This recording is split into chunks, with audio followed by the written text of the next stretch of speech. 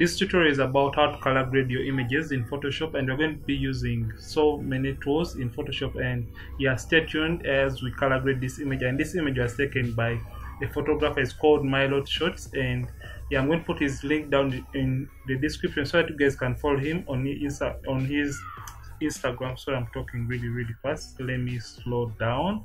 So what we are going to do for this image and if I can go ahead I'm Ronnix from Ronnix Photography and we are going to be color grading this image so let's kick in and start color grading. And if at all you're watching and haven't subscribed this channel don't forget to subscribe this channel and don't forget to hit the notification bell when you do subscribe this channel. And if at all you love this video don't forget to give us a feedback in the comment section and hit the like button if at all you love this video. So let's kick in and start uh, color grading. This image to get those amazing warm skin tones in photoshop. As you can see this image has already been retouched and I use frequency separation. And for those who would like to know more about my frequency separation I'm going to put the link right above here and you can follow along how I do retouch my images using frequency separation. So come right down here and uh, click on selective color. Then I'm going to add cyans to my red channel. You can see that.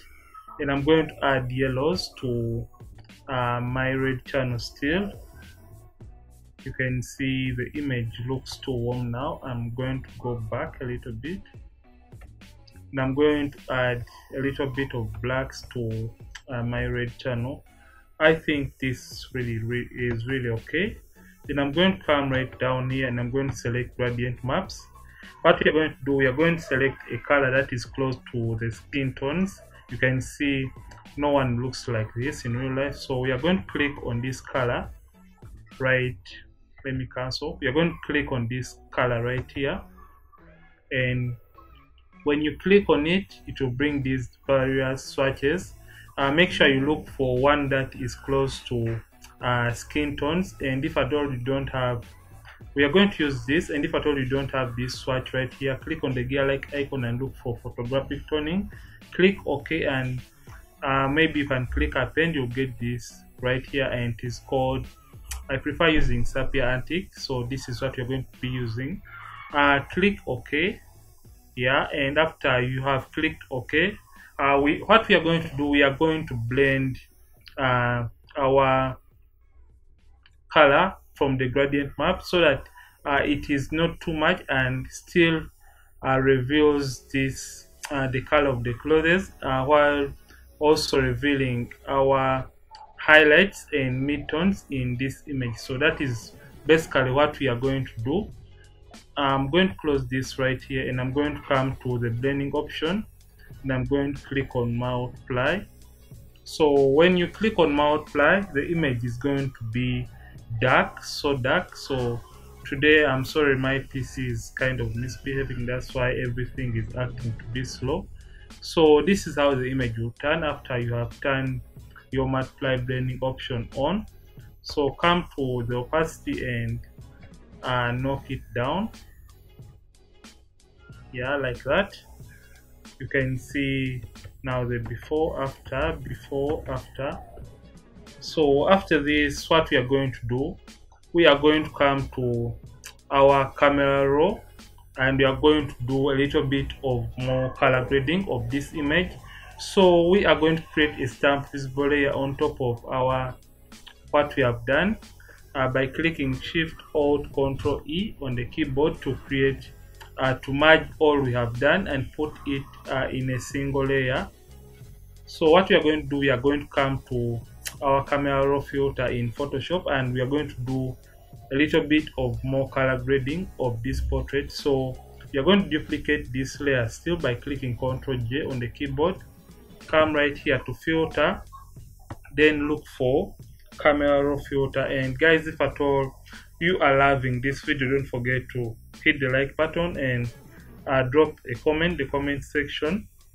And don't forget to subscribe to this channel so that i can get motivated and keep on dropping content for you guys and yeah i'm doing more of the talking because i'm just waiting for my camera raw filter to uh, respond. And here we are right now in camera raw. Uh, we are going to come to right here to camera calibration and we're going to play around with these uh, little sliders. So you can see when I pull this uh, my red slider to towards the negative it adds magenta to the image. And when I put it this side it adds greens to the image. So we are going to go in for a little bit more of the magenta you can see. And you're going to come to the green primary and you can see its effect. I just want to show you guys its effect. So we are going to come and uh, put it at negative 8 and you're going to come to the blue primary. You can see what it does uh, towards the negative it adds magenta and towards uh, this side adds green. So we are going to add a little bit of more magenta to this image. So this is fine. So we are going to come right to our basic panel and we are going to uh, warm this portrait a little bit more. I think that is fine and we can add a little bit of contrast to this image. So we can go in for a contrast. I think 7 is going to do for this image and uh, we're going to click okay and as this loads and yeah i think we uh, it is done loading. So i think this is all i did for color grading this image and you can see uh, how the image is really really looking awesome so what i want to do i want to uh, group each and everything we have done. I want to put everything uh, we did when we were uh, color grading this image so that i can show you guys uh, the before and the after for uh, the overall image. So let me group select the upper layer and this very first layer. Control G to group everything so you can see this is the image before after before after. You can see the difference and yeah guys if at all you love this video don't forget to hit the like button and drop a comment in the comment section. And if you haven't subscribed and you have watched this video don't forget to subscribe and hit the notifications bell. When you do subscribe and yeah this image was taken by Mylot Shotz I'm going to put his link in the description. And guys thank you so much for supporting this channel. I'm Ronnix from Ronnix Photography.